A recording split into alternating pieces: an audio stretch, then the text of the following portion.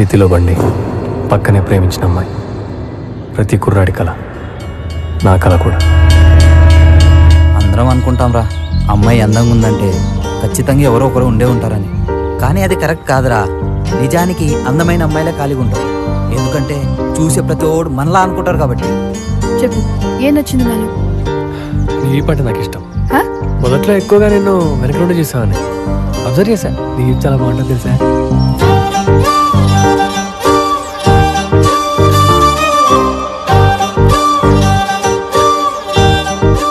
వాళ్ళ అమ్మ నన్ను అక్క అని పిలుస్తుందిరా.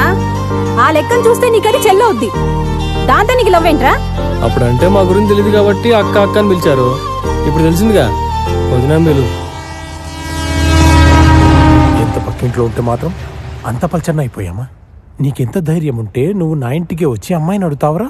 ఈ కళతో మొదలైన నా కథ నన్ను ఎట్ నెట్టేస్తుందో అర్థం కావట్లేదు. పెళ్ళైన తర్వాత కూడా ఇలాగే ఉంది. అయినా కథలకు తప్పడం లేదు.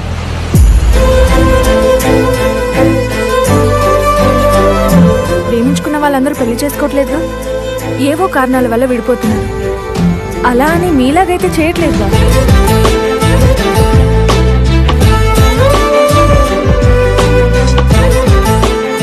ప్రేమించిన వాళ్ళతో విడిపోవడం పెళ్ళయ్యాక వాళ్ళతో కలిసినడం రెండో ఒకటేనా? మొదటి కేసులో వాళ్ళు లేక బాధపడితే రెండో కేసులో వాళ్ళతో ఉండలేక బాధపడతారు.